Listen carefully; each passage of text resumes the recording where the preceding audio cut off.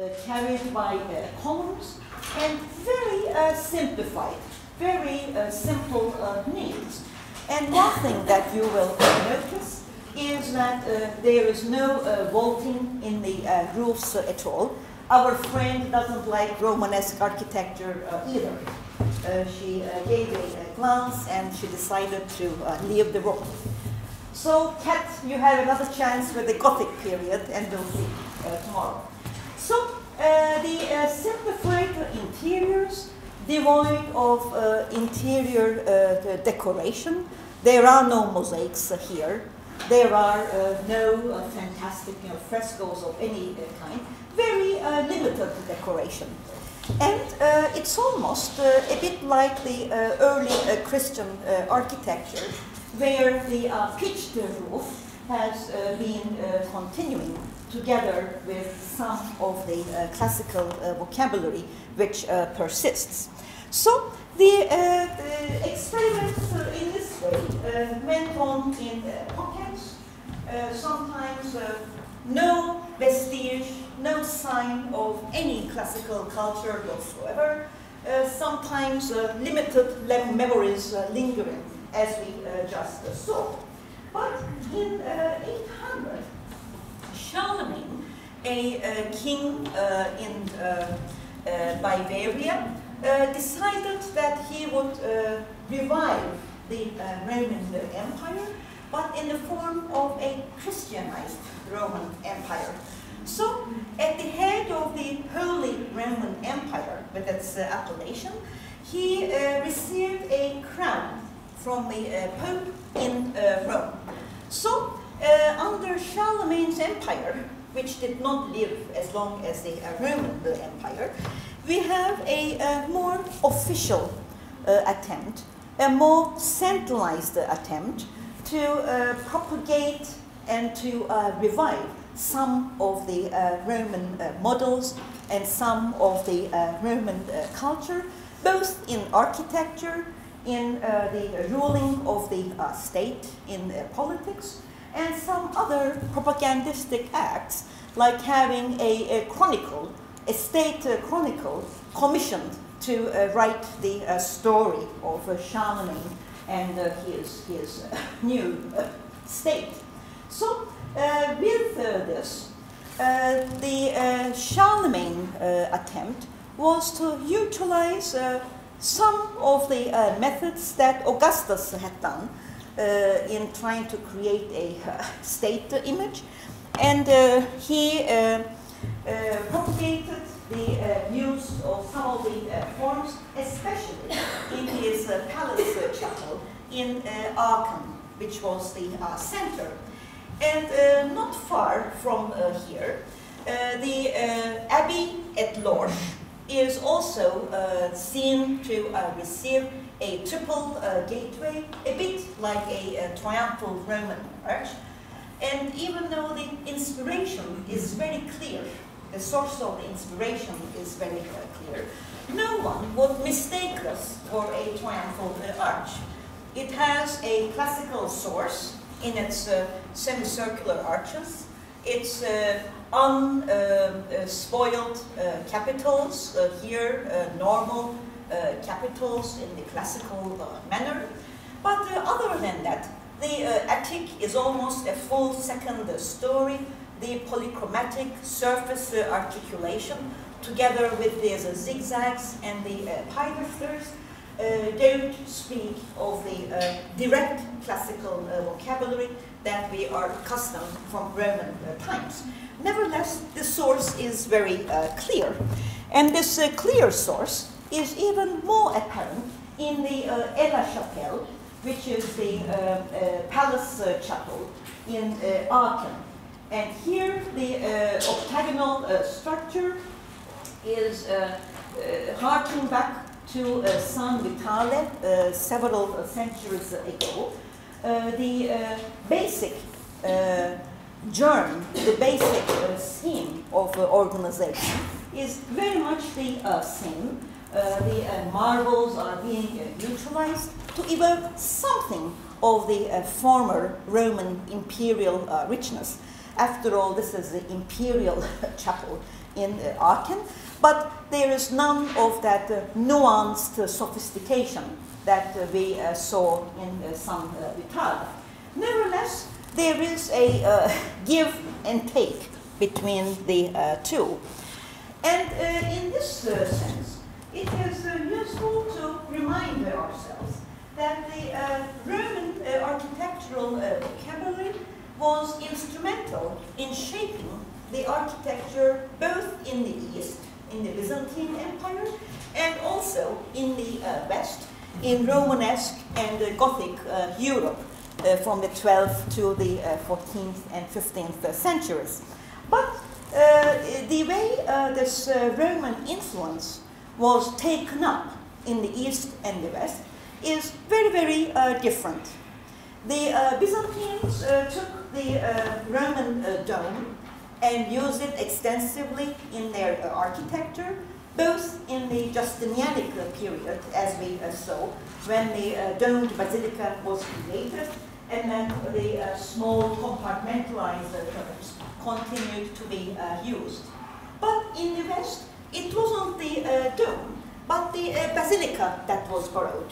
So, with the um, uh, Byzantine and then the Ottomans following them, the dome became a, a focus of uh, the uh, architectural uh, design and the typologies.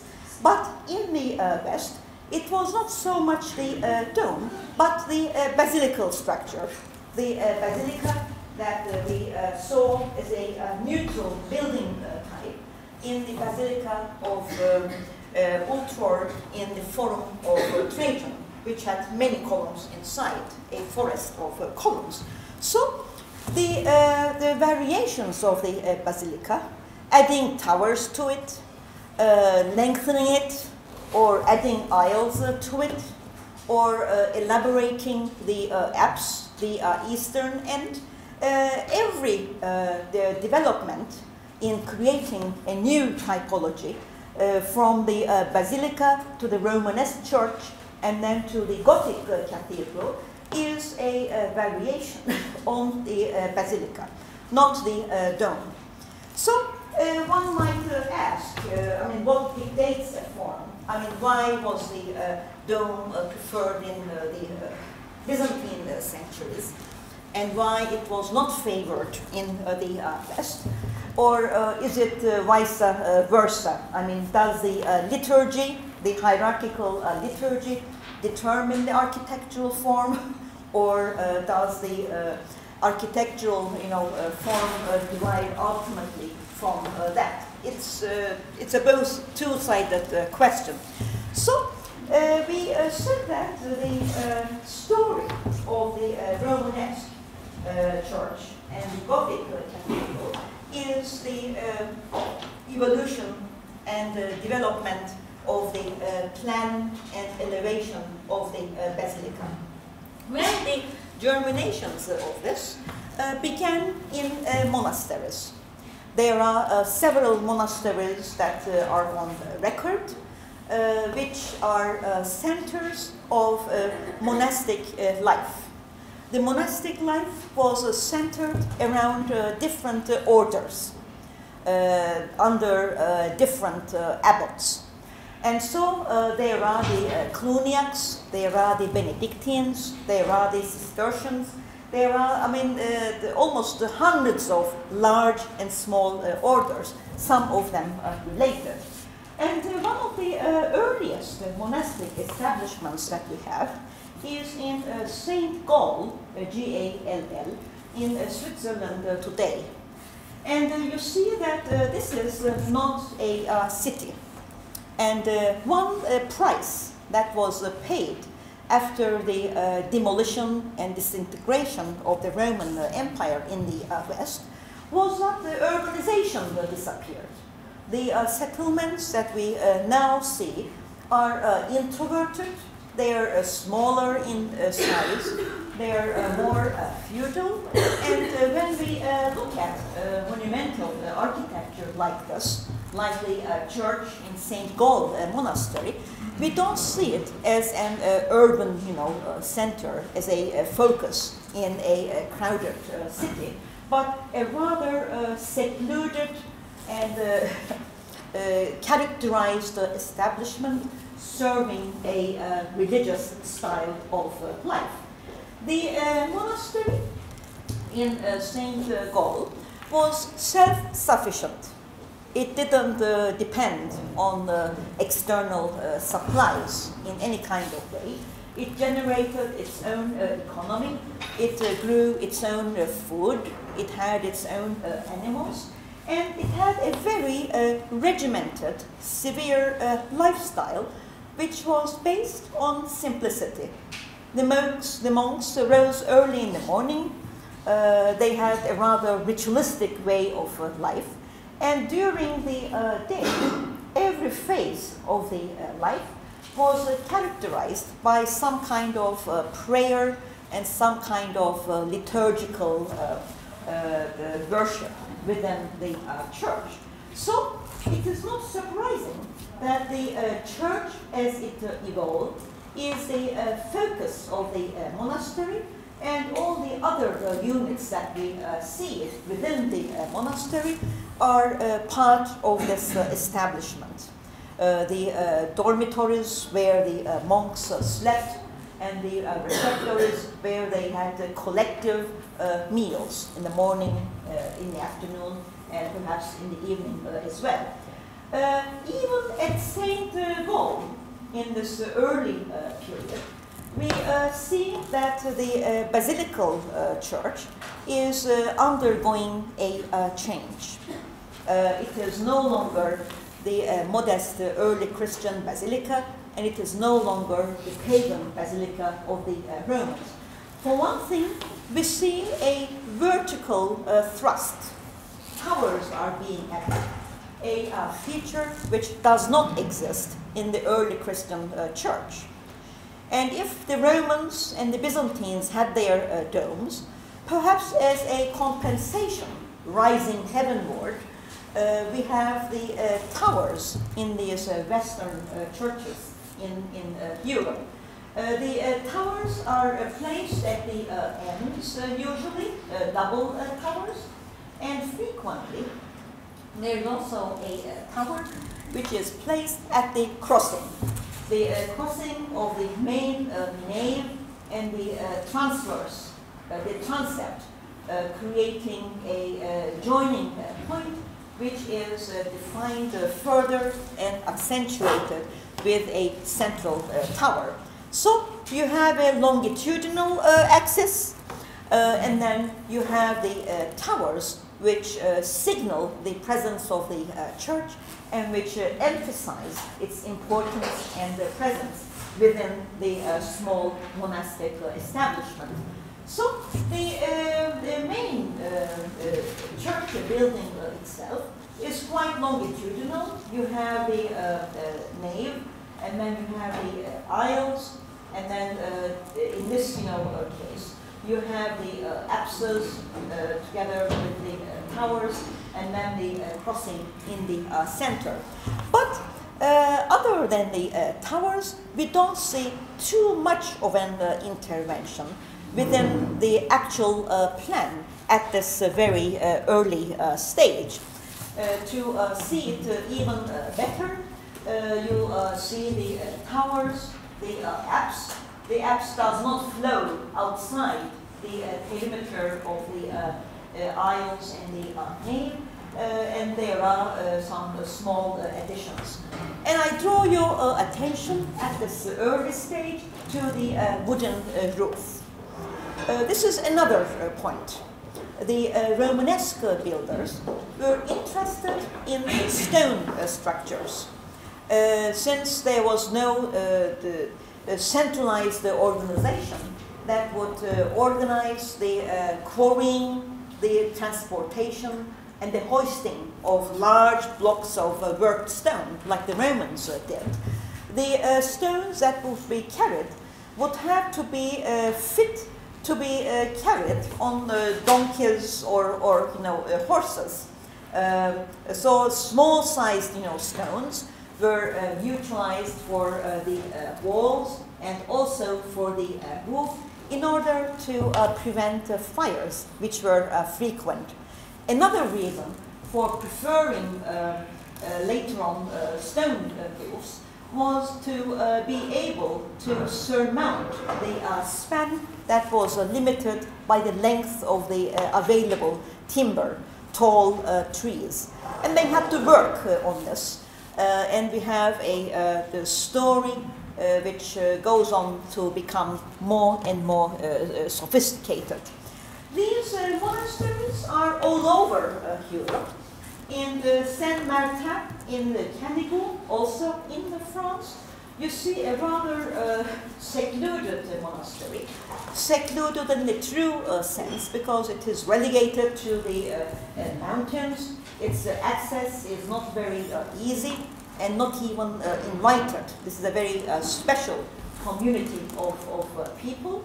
And in it, the different requirements of uh, the uh, monastic uh, living are all squeezed into the limited space that is available on the rather difficult topography that is available on top of a hill.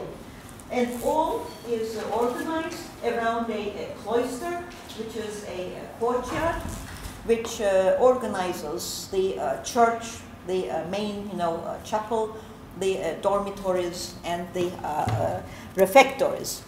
In Saint Martin in the Canigou, we see a, a, development of the stone architecture, which became such a central concern to Romanesque architects.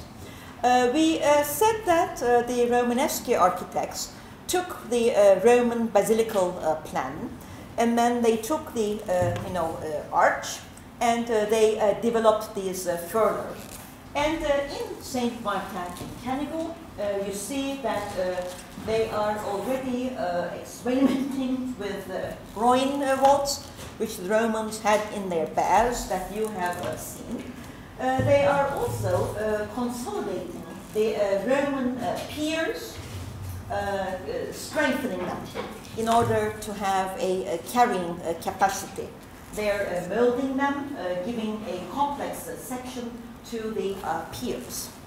And throughout the Romanesque architecture, what we observe is a, a, move from the more sturdy, the more you know uh, massive, to the point of awkwardness even, gradually becoming more slender, more refined, and uh, higher when uh, this experiment ultimately uh, culminates in the, the, the Gothic cathedral.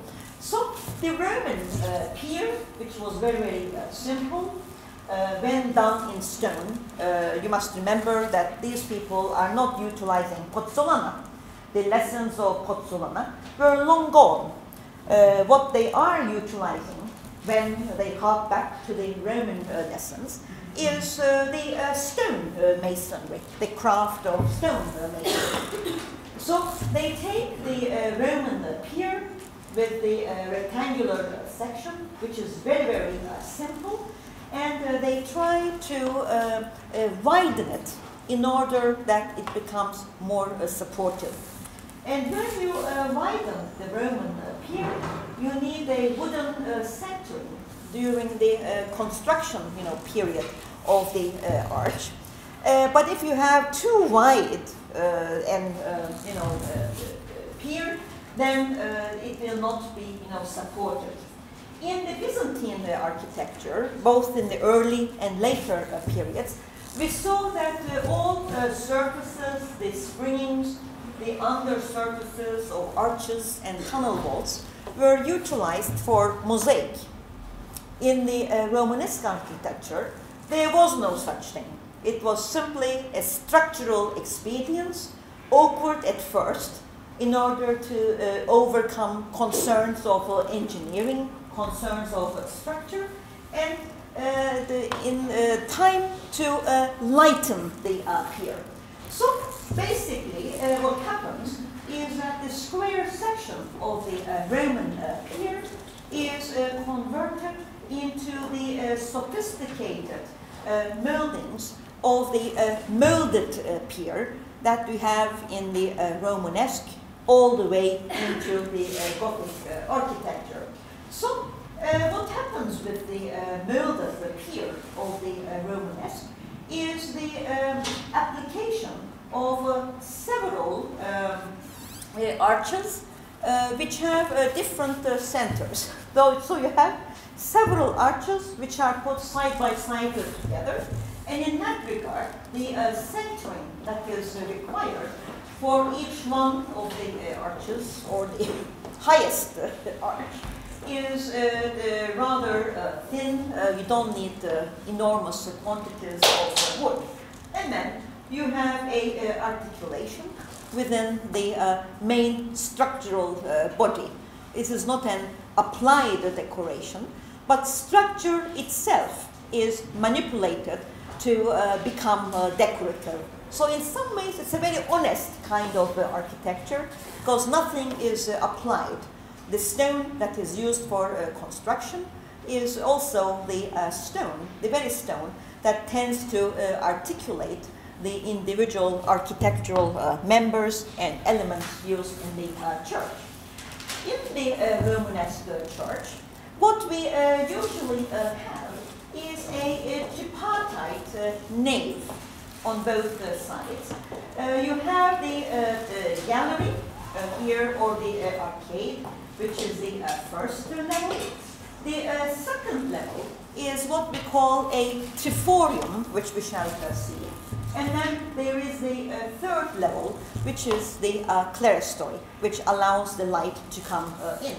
So this three, three-tiered articulation receives an incredible array of solutions. Sometimes you have a, a squat arcade, Sometimes you have an uh, airy, you know, uh, light triforium. Uh, sometimes the uh, clerestory is uh, squinched. So trying to uh, decide how these elements uh, come together is a, a, concern which is both structural as well as spatial, because the character, the airiness or the dimness uh, or the uh, darkness of the uh, main central nave will be affected by this. And usually, the molded pier is utilized, as you see here, to create you know, higher arches uh, and the perforation of the uh, eyes on the uh, outside allows the oblique light to come in. And there are many variations. Sometimes the tunnel vault is used. Sometimes the uh, groin vault of the uh, Romans is uh, taken, and then the groin vault becomes even uh, more sophisticated, turning into a uh, rib vault. So the barrel vault that you are familiar uh, with, sometimes known as the tunnel vault, is quite common in these early Romanesque experiments.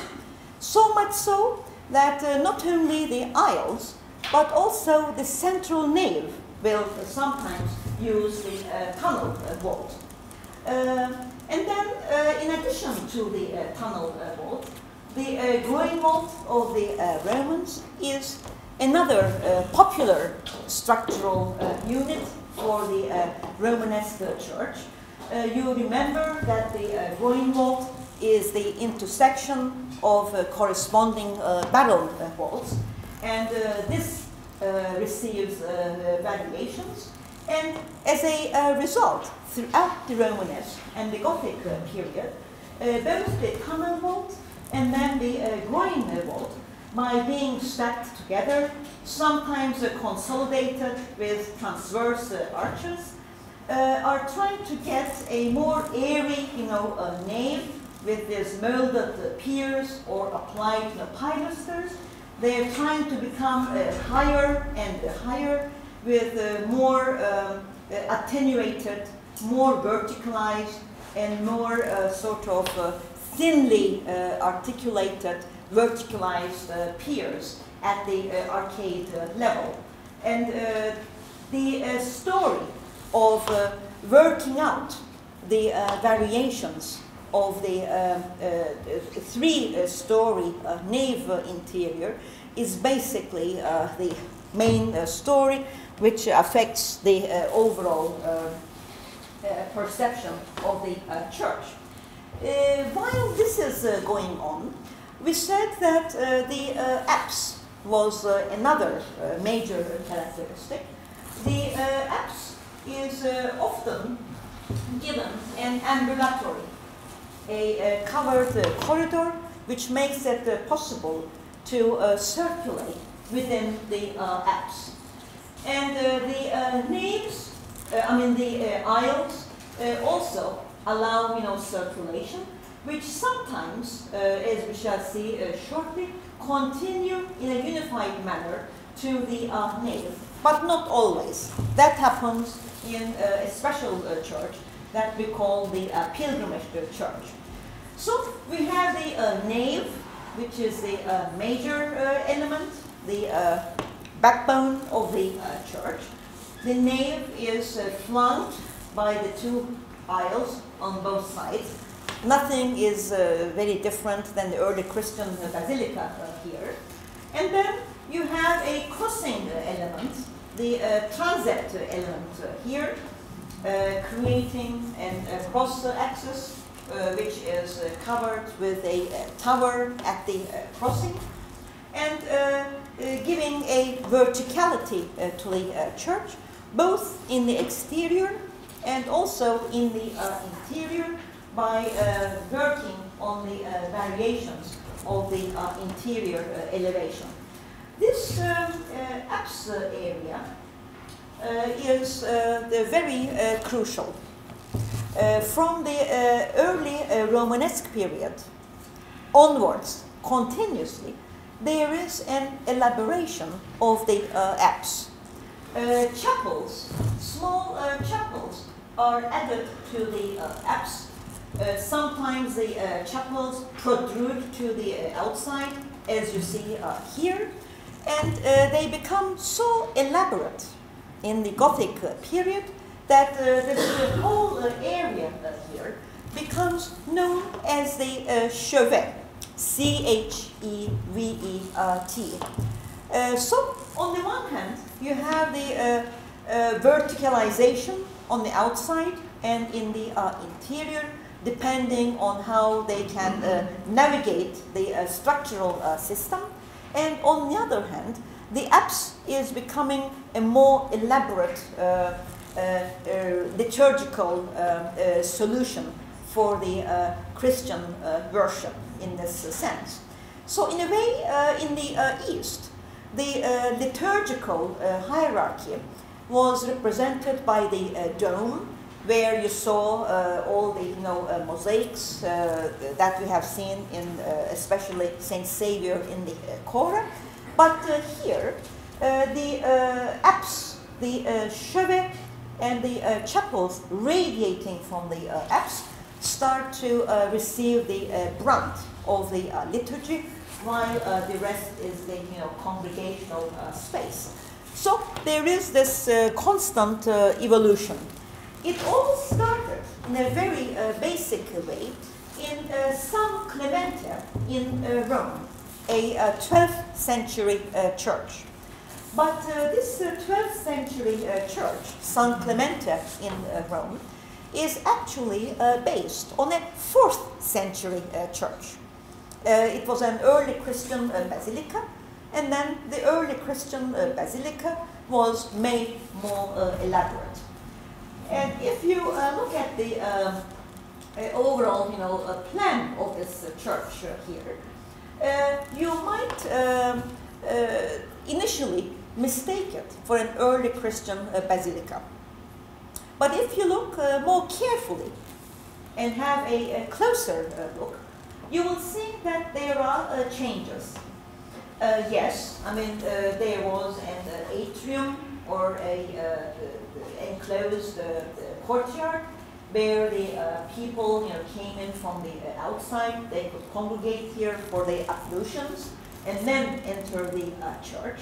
But the church with the simple apse or the side apses the uh, nave and the uh, aisles, has started to uh, receive uh, the, some other elements. The apse and the elaboration of the apse is beginning to flow into the nave. I mean, there's a, a choir here. Uh, the uh, apse is uh, articulated with certain elements, but that is not enough. So the choir receives the walls. Uh, there are these uh, staired places. These are uh, pulpits. one is for the gospel, and the other is for the you know epistles. And the encroachment into the nave starts to take place. So again, uh, what we uh, see is the elaboration of the east end, the elaboration of the uh, apse. It is, uh, in this case, in San Clemente, an encroachment into the uh, space, and there are not yet the uh, radiating uh, chapels or the uh, exterior expansion of the uh, apse at all. And you see it better here. This is the normal nave space, and what would normally have been the space of the apse is uh, flowing uh, into the uh, uh nave, taking up some of the uh, space there with these uh, pulpits for the epistles and the, the Gospels by enclosing it in a, a special way. So that is an encroachment into the nave space. And this was not repeated later, and the apse itself uh, started to become uh, more uh, elaborate later, as we see in Saint Philibert in Tournus, which is in uh, France. In Saint Philibert in uh, Tournus, when you look at the uh, apse, it is almost like a different church building. It has its own ambulatory. it has become rather elaborate with its niches but beyond the uh, ambulatory, in St. Philibert in Tournus, you have the radiating uh, chapels. Yes, they are uh, uh angled. They are these square, you know, chapels that uh, emanate from the uh, apse here, but they show very, very clearly the elaboration of the apse, the eastern end, for uh, liturgical uh, purposes. And uh, in the uh, Saint Philibert in uh, Tournus, uh, you uh, see that uh, the, the, the aisles are receiving the groin vaults. The center is still not very articulated, but the overall area of the, the apse is very different than uh, San uh, Clemente because encroachment is not into the uh, nave, but it is uh, expanding uh, outward. Uh, the structural experiments are also continuing in order to carry the piers. sometimes you have square cylindrical piers, sometimes you have square ones. We can tell this is an early example because the moldings are not there uh, yet. Uh, we have rather massive uh, cylinders which are not uh, articulated into these uh, slender vertical uh, moldings from which the walls spring. It's still quite Roman looking.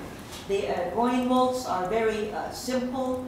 You have barrel vaults, tunnel vaults juxtaposed with the groin vaults. So they're experimenting they're creating strong, durable uh, structures, but the uh, finesse and the uh, vertical elaboration and the uh, transparency that we begin to see uh, later is still not uh, there.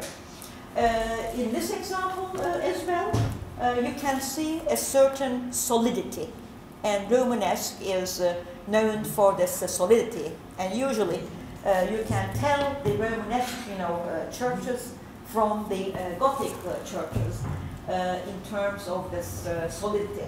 The uh, verticality of uh, the cylindrical columns is quite emphatic here.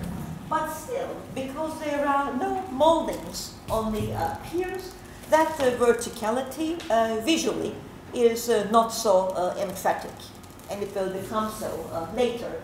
The nave is covered uh, still uh, with this uh, very um, sort of uh, not uh, confident uh, the outlook because there are transverse arches which tend to consolidate at various points. And what you have is basically a, a tunnel vault. The groin vault is not turned into a rib vault yet. So, like the uh, Kouros and Kore statues, whose development you could uh, follow, even the uh, untrained eye can tell an early you know, Romanesque church from a uh, later one, looking at the uh, degree of you know, finesse, the degree of you know, transparency, the degree of you know, awkwardness, the degree of solidity and uh, uh, massiveness. It's quite easy to uh, tell. Ultimately, the aim is to work on heightening the uh, nave. It tries to get higher and higher and uh, higher, and then uh, covering uh, everything with stone. This is the uh, art par excellence of the stone mason. the art of working with small, you know, stones as a construction and decorative material and structural material reaches a new peak. The uh, basic uh, configuration, uh, as we uh, mentioned earlier, is the uh, arcade or the uh, gallery. Then there's a middle level known as the triforium, and then you have a the, the lit up you know area, which is normally the clerestory, and this receives countless variations. the height and the width you know, of this is often uh, regulated with the height and width of the uh, aisles because the uh, aisles will also uh, support and receive the uh, thrusts which emanate from, from the uh, nave. So uh, the architects were engineers. I mean, the stonemasons were engineers.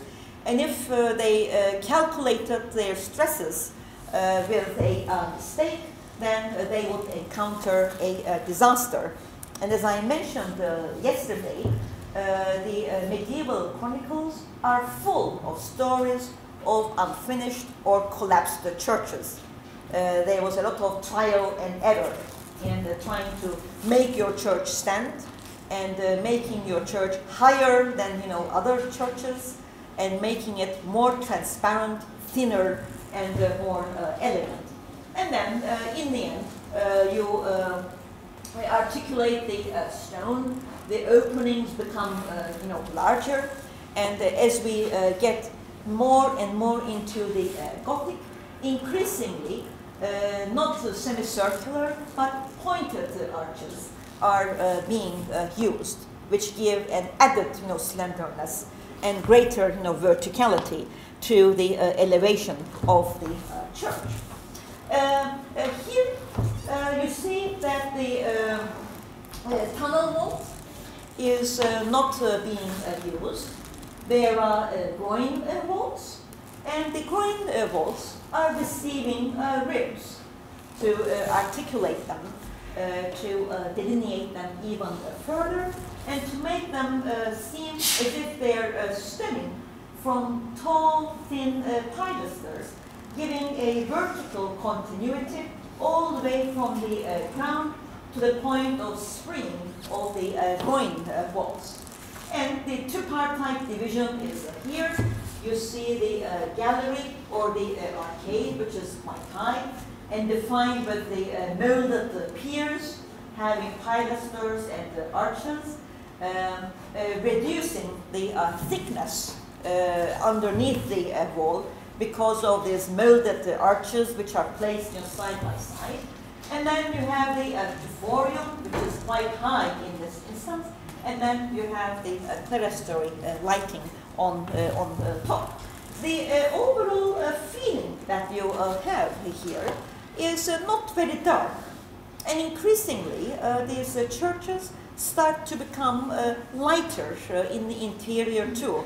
They're not these dark, you know, mysterious, forbidding spaces, but with the arrangement of the perforations, the light that can come in, either from the crossing, which is, you know, high, or from the clerestory lighting, or from the uh, perforation of the aisle walls on the outside, which trickles in into the uh, nave, you can get very different uh, arrangements.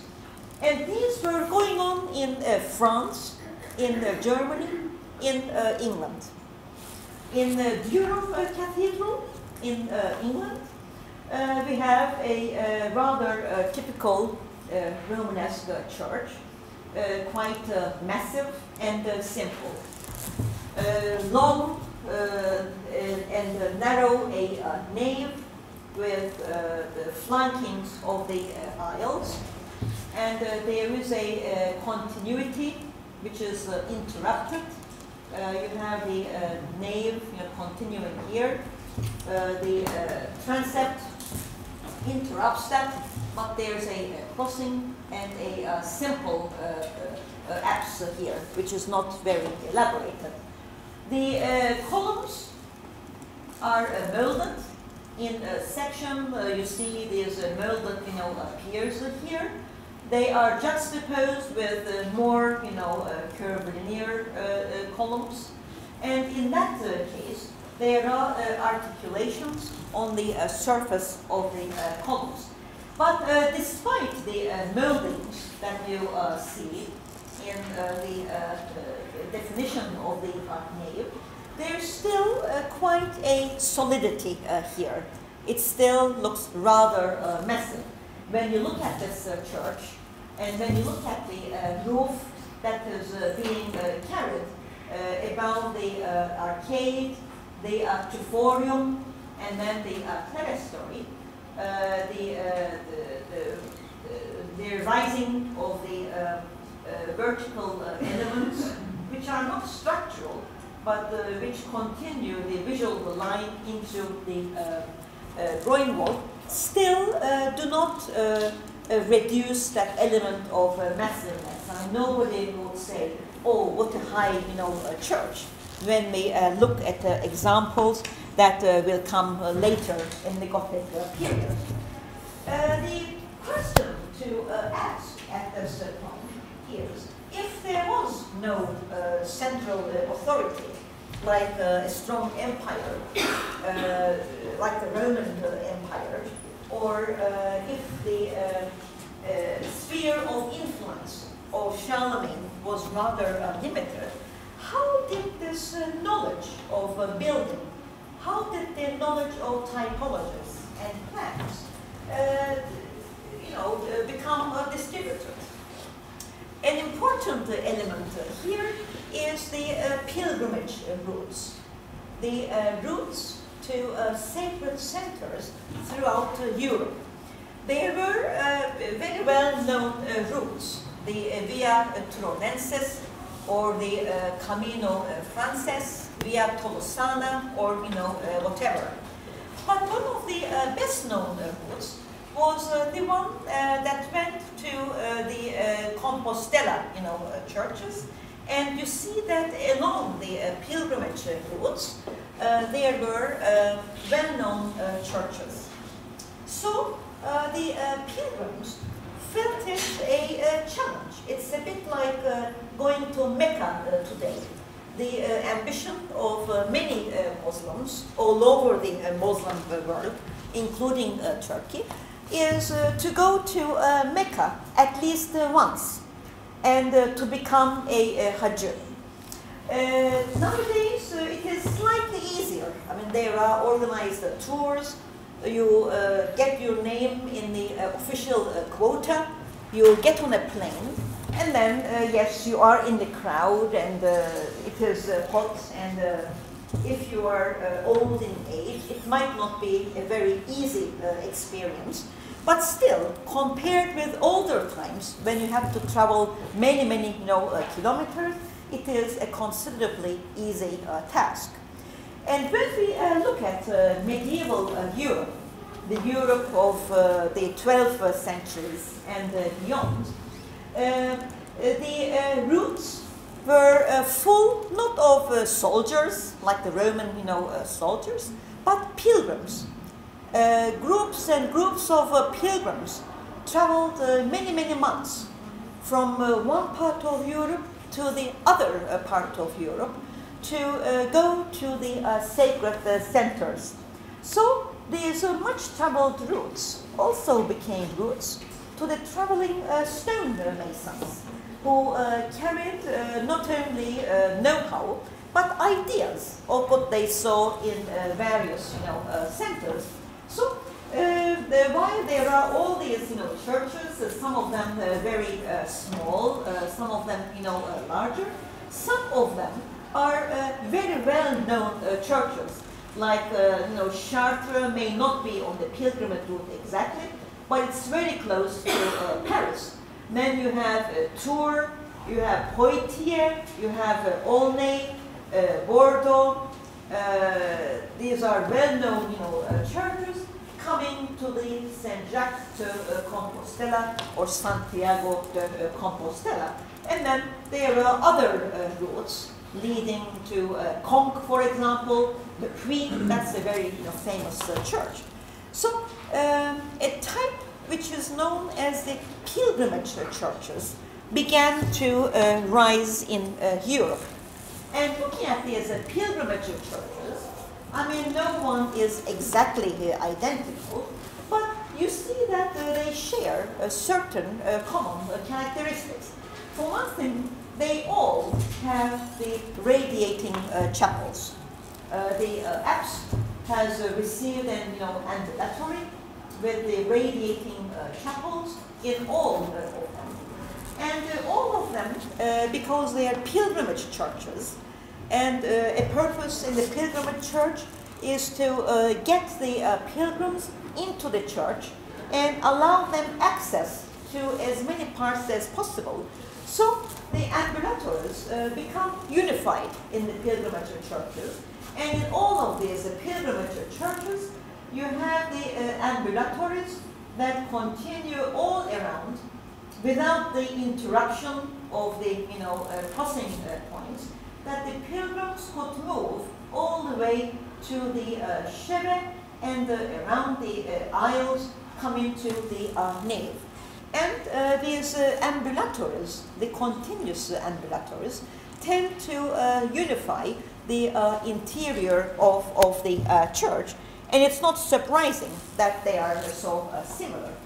And one of the most famous of them is the Santiago de Compostela written exactly as I said. And uh, in the Santiago de Compostela, you see all the basic characters of a pilgrimage uh, church. The uh, uh, radiating chapels in the apse, the developed uh, here, and then the ambulatories, which continue all around the church, the chapels are extended even to the transept, not just in the chevet part, but the uh, transept also has uh, chapels.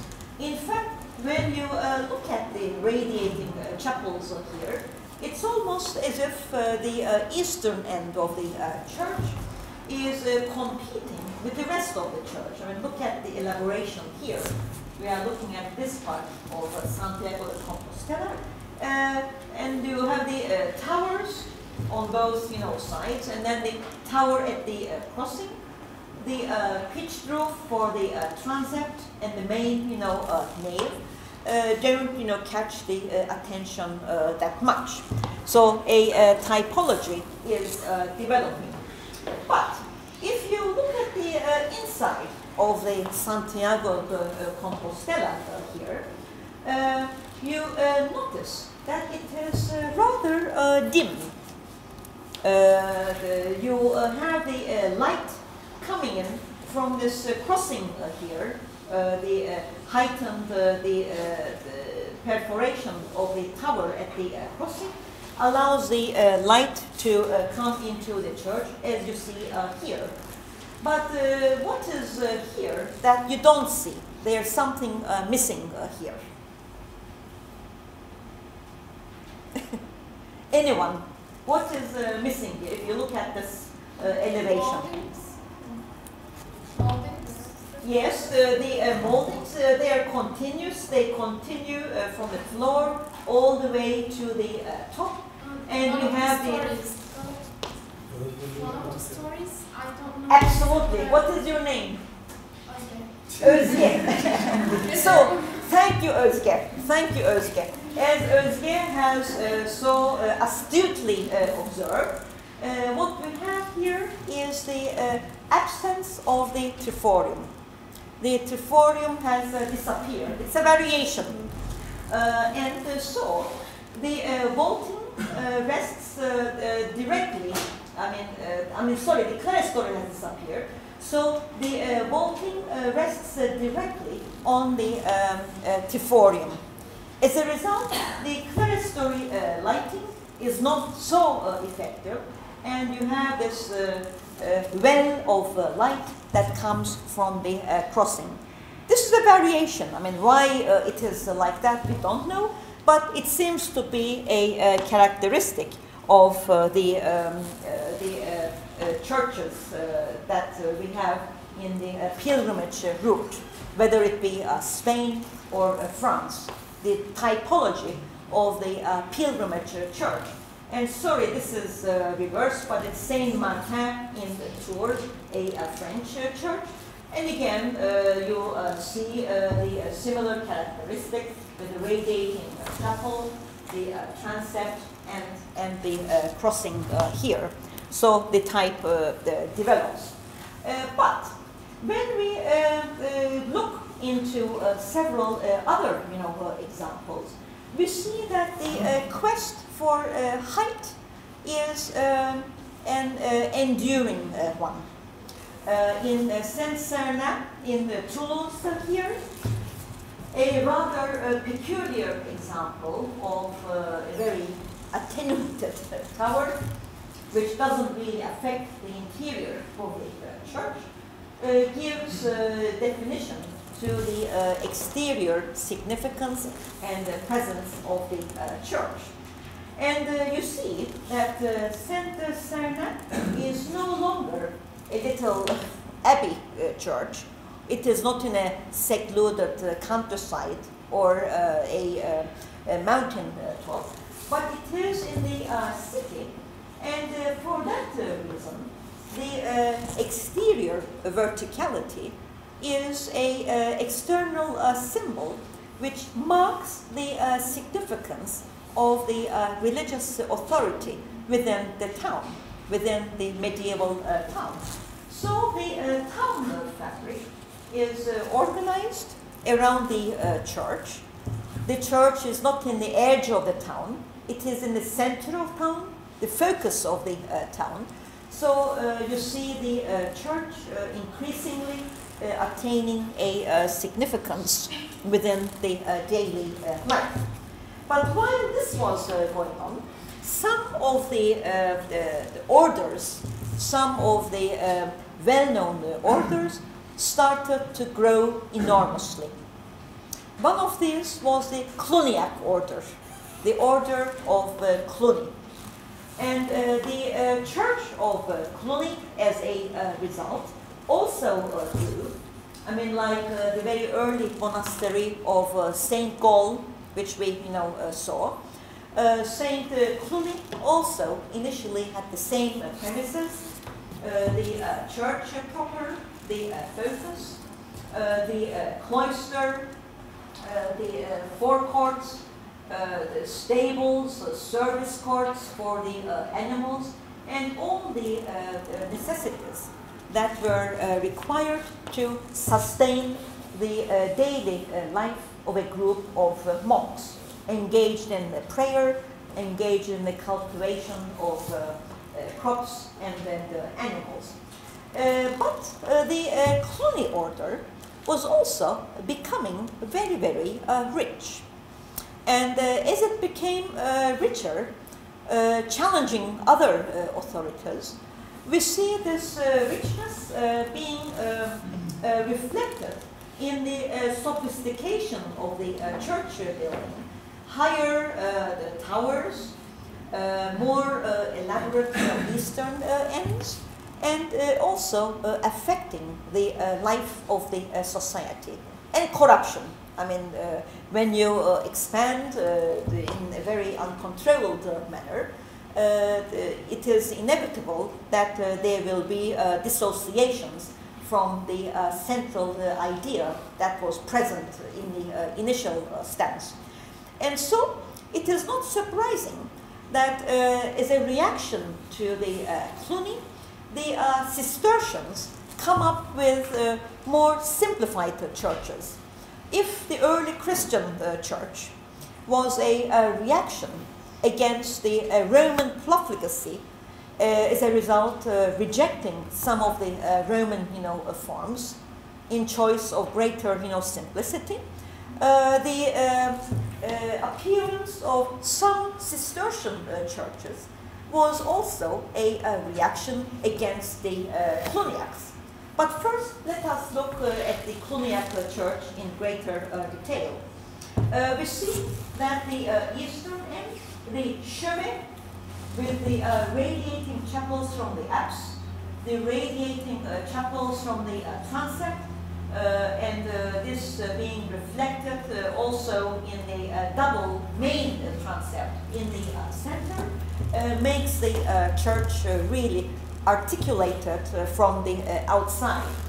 And the flowering, the flowing of the uh, outward is um, very different than the inward flow that we saw uh, in a very limited manner in uh, San uh, Clemente in Rome. Looking at the model, the Basilical Church is almost an addition. The uh, has uh, developed to such an extent that there is almost a competition between uh, this part of the church and that part of the church. The, uh, the crossing the articulation of the uh, with the, the, the, triple you know, uh, towers, as a matter of fact, is not sufficient to uh, integrate the uh, basilical uh, component with the uh, over, you know, emphatic and over, you know, flowing chevet part.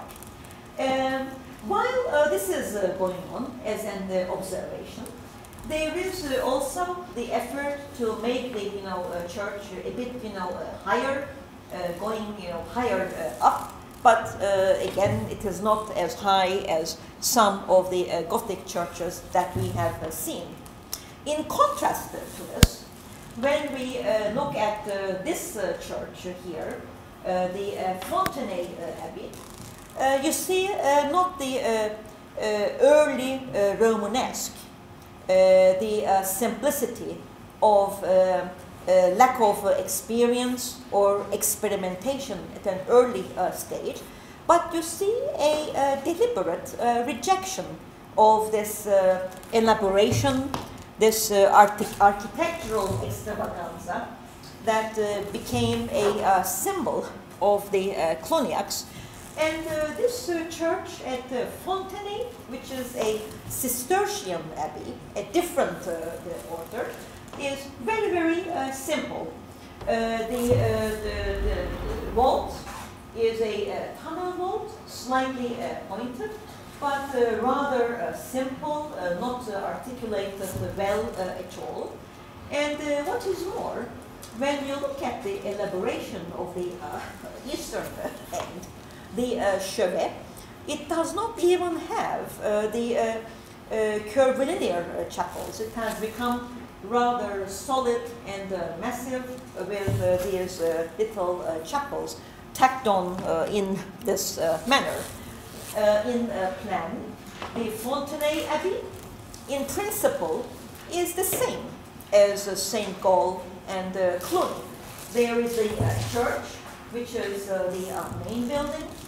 There is the uh, cloister, uh, the uh, open uh, courtyard, which allows the congregation of the monks, but which also tends to organize the various units in addition to the church. The living room, in a way, of the uh, the um, uh, abbey in this uh, sense was the uh, courtyard. I mean, the uh, people in the uh, various uh, units, the uh, dormitories, the refectories, or the you know uh, church, all were uh, united in the uh, courtyard, the uh, cloister, as they went from one uh, building to the uh, other. But looking at the uh, church of the uh, Cistercian, you know, uh, abbey at uh, Fontenay, you see that uh, the uh, apse is uh, rectilinear. There are no radiating uh, chapels here, and the uh, inside of the uh, church is rather simple. So the variations between the orders, and in this case, the uh, Cluniacs and the Cistercians, is very easily traceable within the uh, churches. Another Cistercian, you know, church is in Pontigny. You don't need to remember these uh, names. In the Pontigny, you don't have a, a square apse as in uh, Fontenay. I mean, uh, this is a very uh, simplified apse here. In uh, Pontigny, it is uh, a more curvilinear apse. Um, uh, but still, uh, it doesn't extend a, um, a sophisticated spatial or volumetric personality as we saw in the uh, Cluniac. It uh, grows uh, out of the uh, nave and the you know, aisles in this uh, way. It radiates and envelopes and defines the you know, apse, but that is all. There's none of that extravaganza of overflowing radiating uh, chapels. The radiating uh, chapels have been uh, reduced to an absolute minimum. There is one final uh, element that we uh, need to uh, mention in terms of the Romanesque and also Gothic churches, and that is the didactic and visual value of the iconography. The um, surface of the church, whether it be the molded uh, pier, whether it be the uh, entrance to the church, uh, whether it be some of the uh, capitals that are uh, used, are uh, one and the same. Uh, the surfaces to convey the teachings of the church. So, the um, stonemason that carved the different stones that made up the walls of the nave, the walls of the you know, aisles, were also the same uh, masons who uh, articulated the uh, entrance of the churches, known as portals that we uh, see here, and then the articulation of the portals. The portal, like a triumphal arch, is an articulated uh, entry. The uh, entry into a uh, different domain in the church, from the uh, outside to the inside, from the uh, sinners, the uh, penitents, into the uh, holy uh, devout. So, symbolically, uh, the point of entry is very significant. It's not just a, a boundary of a physical boundary of inside and outside. For this reason, the portal is highly articulated. Uh, the uh, part underneath the uh, arch is known as the tympanum. There's a, surface underneath the arch, which is the tympanum, which in later periods can become uh, pointed. I mean, it's a pointed tympanum compared to the uh, semicircular one. And within the uh, tympanum, uh, you have carved reliefs showing, you know, uh, Christ or showing uh, various uh, episodes in order to uh, influence all of those who are about to enter the uh, church. The uh, receding arches, just like the molded piers that we saw inside, give depth to the, the portal, sometimes in a simple manner like this one, uh, sometimes in a more developed manner like this one.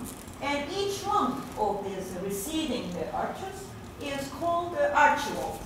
So here the archivolts are rather, you know, uh, pointed, but each archivolt is uh, profusely uh, carved with uh, the decorations, uh, some of which have a uh, meaning. Similarly, the um, uh, depth of the uh, portal is uh, given with uh, the columns uh, or the supports for the receding arches, the archivolts, and they are the jambs. And if you have a, uh wide lintel, a wide opening, you have a central support which is called the uh. All the uh, jambs, all the uh, pilasters or the uh, molded uh, supports for the uh, archivolts up here, including the uh, archivolts, uh, the uh, the uh, lintel, and then the uh, that carries the uh, lintel, are surfaces to uh, receive carvings. So there is no mosaic here.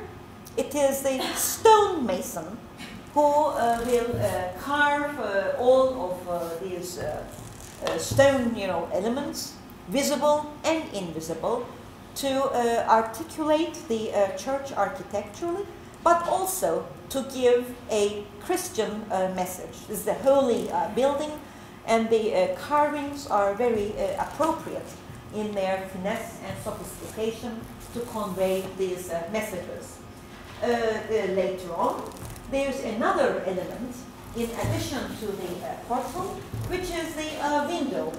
Huge, big uh, circular uh, windows, commonly known as rose windows, because uh, they had uh, flower-like, you know, configurations.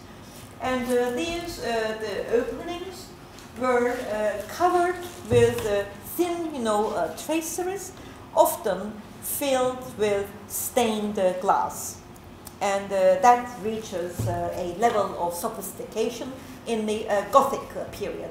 So, in every aspect, you have the ingredients of the pointed arch, even the um, you know archivolts, every element already in the Romanesque period, but it reaches it reaches a, uh greater uh, sophistication in the uh, Gothic uh, period. So. Uh, in uh, the, uh, the typical, you know, church, which is in the center of the town, say, you have the advertising elements of the tower at the crossing, higher and higher and higher. Towers at the entrance, signaling the majesty of the power of the church. And then, uh, once you see this from a uh, distance, as a focal element of the uh, town, then you will come closer to the uh, church, to the uh, portals, sometimes a single, uh, sometimes you know uh, triple, and uh, they will be articulated with the various messages, drawing you closer. So here, once you get closer to the church, you uh, come and as you are about to uh, enter, you are uh, confronted with the uh, portals which are uh, carved with these uh, religious uh, messages. So uh, here, uh, in uh, uh, these various uh, examples uh, here, uh, you see uh, archivolts, uh, you see the uh, tympan, you see the uh, lintel, you see the uh, and then the uh. Uh, here uh, you see it uh, quite well in the form of uh, semi you know, circles, uh, gradually uh, advertising. If we uh, look at this particular example, I think it will be very illustrative to convey the power. I mean, the dogma of Christian teachings was conveyed in a pictorial way. This is the, the church in the You don't need to remember the uh, name. Uh, but uh, you see Christ in the center, a very flattened Christ.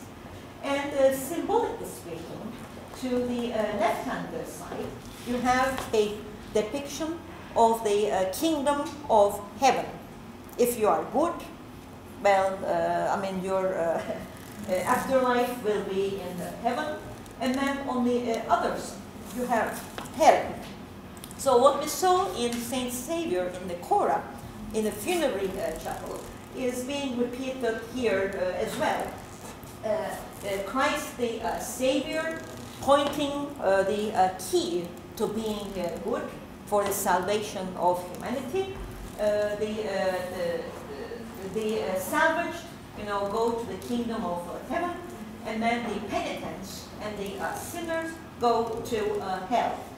And uh, underneath, you have the uh, weighing of, of the uh, souls. Uh, here you see that, you know, also. And in fact, here you even have some sarcophagi where the dead, you know, are being, you know, taken up and their souls are being weighed to decide whether they will go to hell or whether they will, you know, remain. It's uh, quite uh, clear uh, here. Um, the weighing of the souls, I hope you can you know, uh, see it. And then there's uh, twisted and twirling you know, uh, figures who are either you know, marching to hell or who are you know, found to be good. Uh, here you see a, uh, an angel, uh, an angel and a devil. They're both holding scales measuring the uh, souls, and then there's contorted, you know, uh, figures. Uh, they're uh, awaiting the uh, destiny. So this was a very powerful uh, spiritual influence in the center of town, constantly, you know, reminding the people of the power of religion. And the stone mason put his utmost skill to create a, a, higher and more impressive uh, church but also to have finer, you know, carvings that would uh, the, the articulate the uh, messages of the uh, church. Not only the uh, portal, not only the uh, window, but even the capitals uh, sometimes the narrative stories um, which could give, you know, messages to, to the people. So every uh, surface of the uh, stone was utilized. Sometimes you have apotropaic, uh, horrifying figures like you know uh, this one, constantly uh, reminding of the dangers of hell and uh, reminding the penitents of the, the state of you know situation there.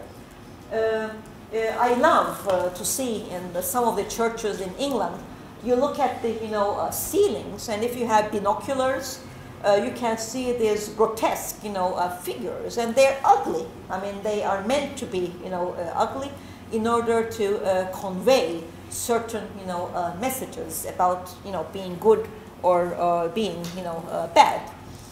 And the various forms this took could change on whether you were further in the north in the, the Scandinavia, in uh, England, uh, France, or uh, Germany, or whether you are inland, closer to, to uh, Italy. Uh, in uh, this example here, you see that there is no point pointed arch. the early inspiration that we saw in the beginning of the lecture, utilizing the Roman memory, the Roman vocabulary, or the memory of the Roman vocabulary may be seen here too. I mean, a little bit like a you know, triumphal uh, arch, uh, a distillation uh, of that. In Saint Gilles de Gard, you don't need to remember the uh, name. It's almost like a triple arch, like a triumphal uh, arch. Uh, the you know, story. But of course, there's nothing Roman about this. You have the receding archivolts, you have the tympanum, but it gives you that sense of uh, ceremonial uh, entrance. Uh, what is uh, more than that in Italy itself, the course that the Romanesque and the Gothic uh, took is very different than uh, what we see in uh, uh, the uh, stone you know, centered Germany and France.